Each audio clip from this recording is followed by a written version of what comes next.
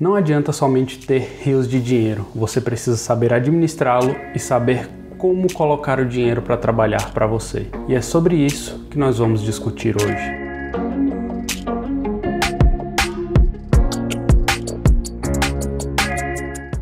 E para discutir isso, nada melhor do que trazer exemplos de pessoas que fracassaram, porque sábio é aquele que aprende com o erro dos outros. E eu tô aqui para passar para vocês esses erros que já aconteceram e com certeza esses erros não aconteceram comigo, porque se eu ganhasse hoje numa mega sena, numa loteria da vida, a última coisa que eu faria era tocar no dinheiro, porque eu sei, o dinheiro sobe a mente. Imagina você que está acostumado a ver mil reais na sua conta todos os meses e de repente aparecerem 30 milhões, 15 milhões ou quer que seja 100 milhões de reais na sua conta. É muito maior do que até mesmo a quantidade de números do seu CPF. E por isso, para eu me blindar de mim mesmo, eu não tocaria no dinheiro. Eu faria o máximo possível para que esse dinheiro virasse renda, para que eu tivesse um rendimento mensal onde eu pudesse arcar com todas as minhas necessidades e possivelmente alguns luxos, quem sabe, né? Sentado numa praia, não, odeio. Talvez andando de, de como é que é o nome do negócio, gente? Vamos pesquisar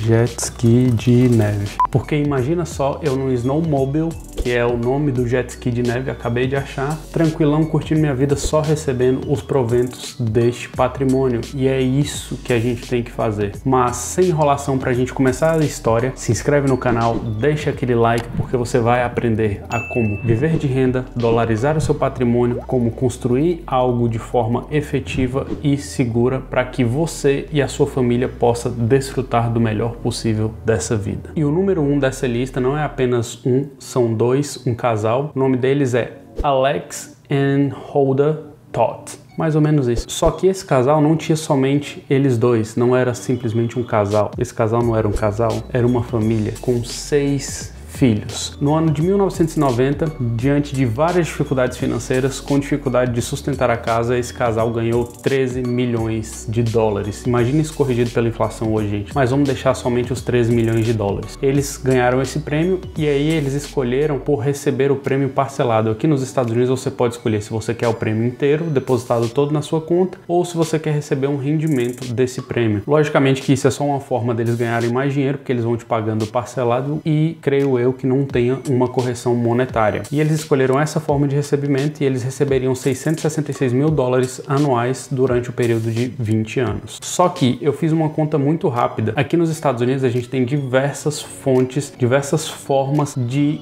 investir. A gente poderia colocar simplesmente em bons ETFs pagadores de dividendos, como eu fiz o vídeo que está aqui no card. A gente poderia investir em REITs, que são empresas que investem majoritariamente em imóveis e conseguir um dividend yield ali na casa de 3,5% ao ano. E isso daria na casa de 38 mil dólares por mês. Gente, isso é muita grana. Isso dá para você viver muito bem. Dá para você pegar e ainda reinvestir para você não ficar sem dinheiro. Dá para você comprar uma casa maravilhosa. Dá para você pagar um mortgage do tamanho que você quiser. Dá para você comprar um carro bom. Dá para você comer filé mignon todos os dias. Dá para você comer peixe. Dá para você comer king crab, que até hoje eu não comi, mas um dia eu vou comer ainda. É um pouquinho caro, mas está na lista de desejos. E mesmo assim esse casal foi a ruína. Como eu falei para vocês, a gente tem que se blindar quando a gente não está acostumado com certas quantias. Esse casal pegou os seis filhos, né, toda a família, passaram a morar em um hotel durante o período de três meses. Imagina só quanto ficou essa conta. Não suficiente, resolveram ir para o mundo das apostas. Resolveram ir para Las Vegas e apostar grandes quantias. Não é eu e você que vai lá e gasta 10 dólares para tirar uma foto para o Instagram ou para fazer um videozinho para o YouTube. Eles começaram a apostar alto mesmo e começaram a queimar dinheiro igual jogar dinheiro na chaminé. Não bastando simplesmente querer viver em hotéis e apostando altas quantias naquelas máquinas que são programadas para fazer você e eu perder, eles foram à ruína em 15 anos e ainda foram processados por falsificação na declaração de imposto de renda. Aqui nos Estados Unidos, pessoal, fraude é macacão laranja e bola no tornozelo. Alex, o pai de família, morreu no ano de 2008 e ainda deixou uma dívida de 1,1 milhões de dólares devido a uma multa que a Receita Federal aqui dos Estados Unidos, a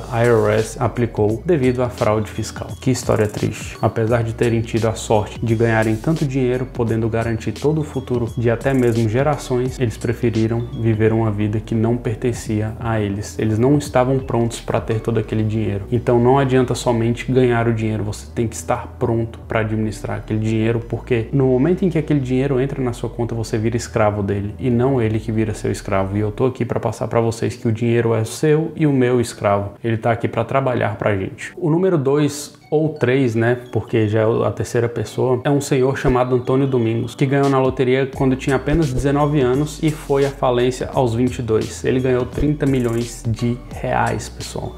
30 fucking millions of reais. Deu uma de. Como é que é o nome do cara? Thomas Shelby. Se você não assiste Peak Blinders, é uma boa, eu curti a série. No fighting. Oi! No fighting. No fucking fighting. No fighting. No fucking fighting! Good. Get fucking... O senhor Antônio Domingos ganhou o prêmio de 30 milhões de reais em 1983 e foi morar em um hotel. E como eu falo para vocês, se você não está pronto para o dinheiro te servir, você vai virar servo do dinheiro, você vai virar um escravo do dinheiro. Ele não lavava roupa, ele simplesmente usava roupa uma vez depois jogava fora. Se o pneu da moto ou do carro furava, ele deixava o carro e a moto para trás e comprava outro carro. Teve alguns aniversários deles em que ele pagava a conta de todo mundo que estava no restaurante, mas ele não ia no restaurante lá no, no tio Zé comer um estrogonofe ele ia nos restaurantes mais caros de Salvador, na Bahia, e pagava a conta para todo mundo. Agora imagina o quanto não saía essa conta. Essa vida de fantasias, essa vida ilusória, porque a gente acha que o dinheiro nunca vai acabar, durou apenas cinco anos e ele falou que achava que o dinheiro era infinito e que não iria acabar por ser uma grande quantia. Isso, para vocês terem uma ideia, aplicado na taxa Selic de hoje, renderia na casa de 4,2 milhões de reais por ano, o que seria, vamos fazer as contas, 350 mil reais por mês. E esse cara conseguiu quebrar. Olha isso.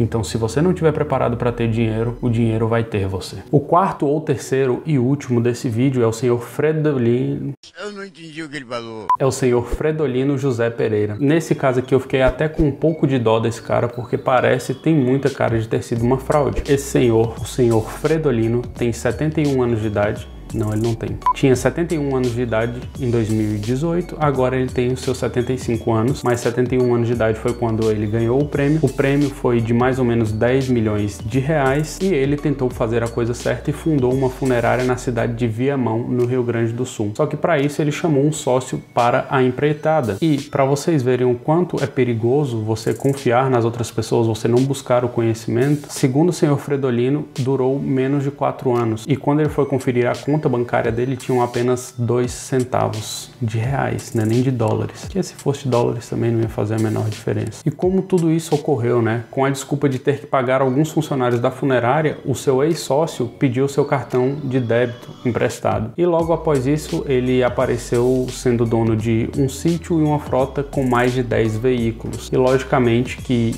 tudo isso foi feito por forma de contrato, foi feito de forma teoricamente legal e a Polícia Civil investiga isso e tenta realizar um inquérito policial contra o seu ex-sócio por falsificação de contratos. E tudo isso indica que o senhor Fredolino, hoje de 75 anos, foi vítima de um golpe financeiro. Por isso, pessoal, eu quero trazer esse vídeo porque não adianta você simplesmente ganhar dinheiro se você não souber administrá-lo. Não adianta, pessoal, ganhar dinheiro se você acha que ele é infinito e que ele nunca vai acabar e que você não precisa administrá-lo. Não adianta, pessoal, ganhar dinheiro se você não investir o dinheiro no local correto, seja numa empresa, seja num ETF, seja numa ação, seja num fundo imobiliário. Você precisa estar preparado. Você precisa, logicamente, começar antes de estar pronto? Sim, mas comece com pouco, vai sentindo, coloca o pezinho na água. Então, se você chegar a ser um ganhador da Mega Sena, se você chegar a ser um ganhador de algum prêmio, não faça como as pessoas dessa história. Cuide do seu futuro, garanta gerações, não só a sua. Tamo junto e é só o começo.